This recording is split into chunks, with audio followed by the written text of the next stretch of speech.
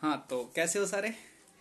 बढ़िया ही हो गए ना, क्योंकि सबके सब घर पे हो ज़्यादातर और जो घर पे नहीं है, जो अभी कहीं इधर उधर फंसे हुए हैं तो जहाँ भी हो, सही रहो, घर के अंदर रहो, बाहर मत निकलो सबसे पहली बात।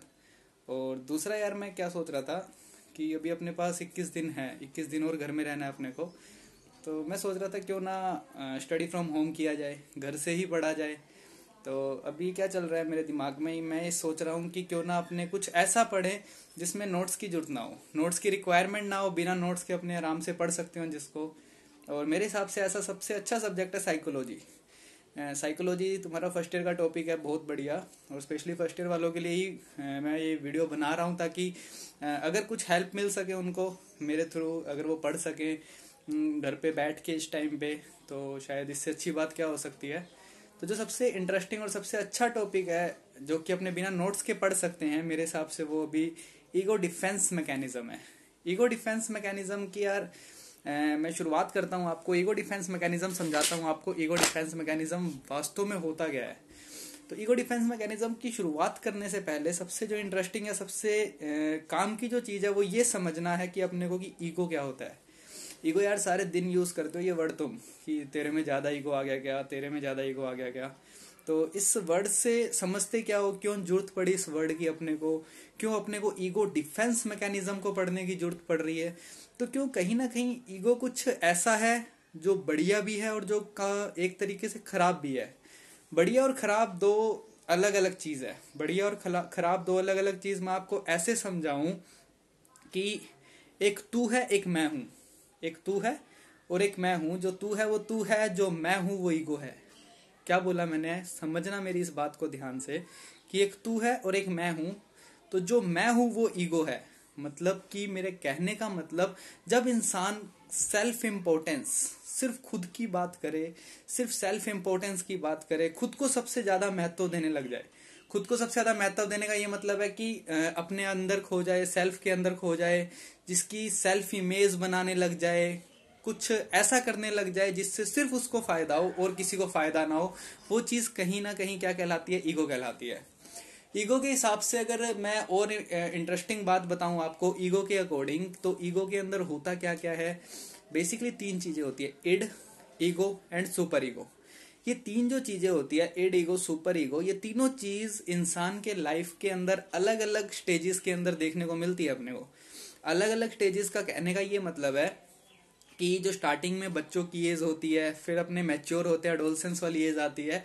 एडोलसेंस के बाद और मैच्योर एज आती है, जिसको कि जो कि नियर अबाउट फोर्टी ईयर्स के बाद देखने को मिलती है। तो इन जो एज के अंदर जो कॉम्प्लेक्सिटी देखने को मिलती है वेरिएशंस देखने को मिलते हैं अपने को नेचर के हिसाब से बिहेवियर्स के हिसाब से एक्सपीरियंसेस के हिसाब से नॉलेज के हिसाब से मेमोरी के हिसाब से एटीट्यूड के हिसाब से एप्टीट्यूड के हिसाब से इन सब चीज़ों को देखते हुए जो बंदा सीखता है, जो बंदा गेन करता है, वो सारी चीज़ें ही तो क्या है? इड है ईगो है सुपर ईगो है।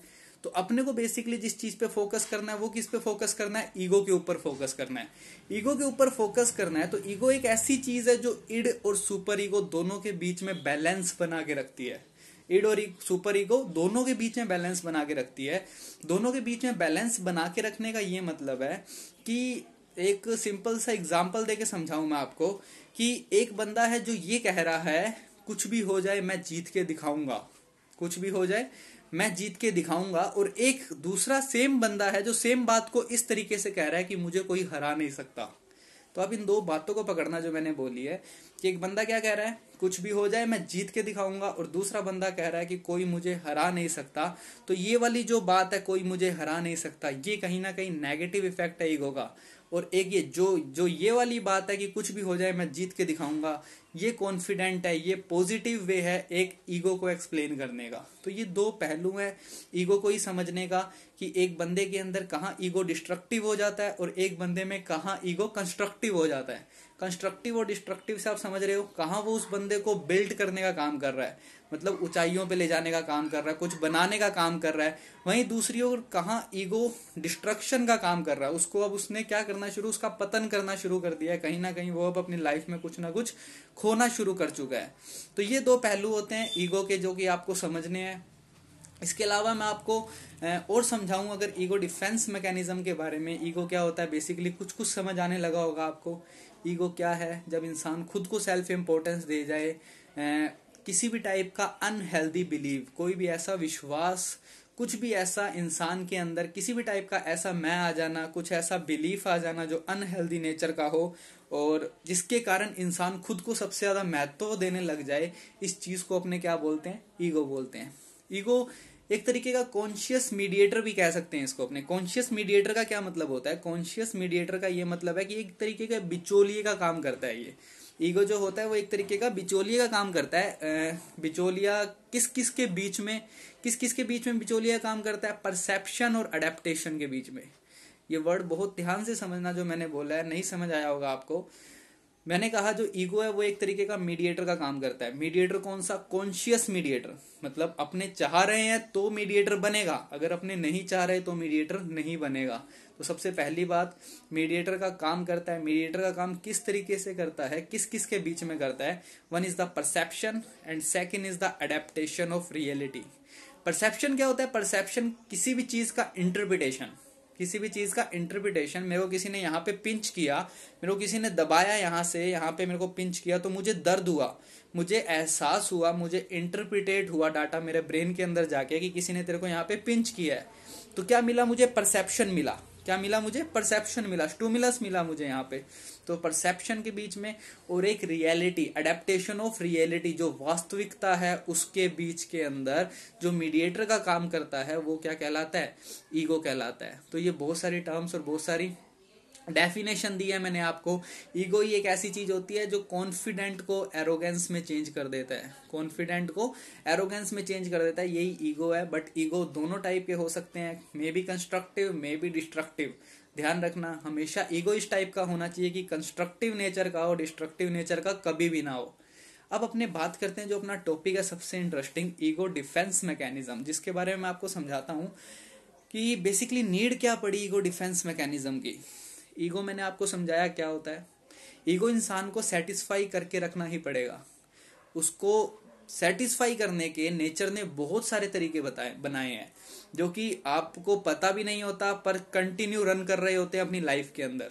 क्योंकि अगर ईगो सेटिस्फाई नहीं है तो इंसान स्टेबल नहीं हो सकता कभी। इंसान अनस्टेबल रहेगा हमेशा। बहुत डीप बातें हैं। पकड़ने की कोशिश करना सब समझ आएगा अच्छे से।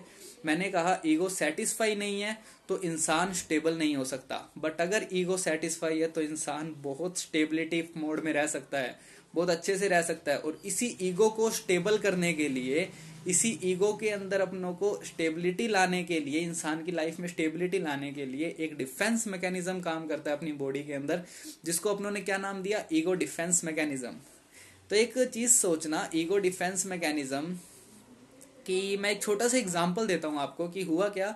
कि यार मैं गया ऑफ़िस में मान लो। मैं कहीं ऑफ़िस के अंदर गया, मैं जहाँ भी जॉब करता हूँ वहाँ पे, और ऑफ़िस के अंदर जाते ही क्या हुआ, मेरी बॉस से लड़ाई हो गई।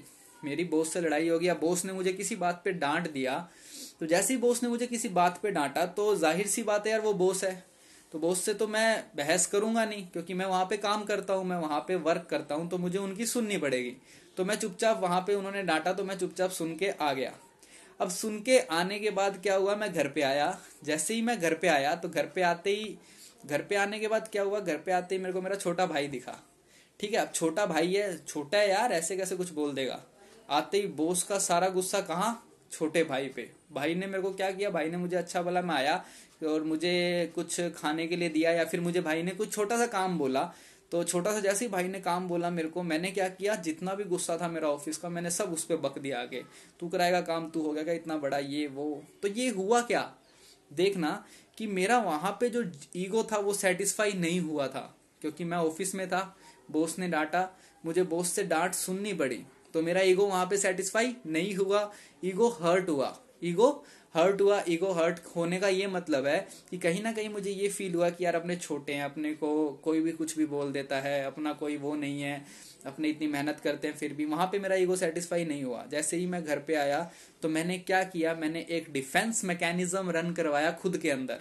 ऑटोमेटिक होता है सब। आपको कुछ नहीं कराने की ज़रूरत। मैंने एक डिफेंस मैकेनिज्म रन कराया खुद के अंदर। डिफेंस मैकेनिज्म रन किया।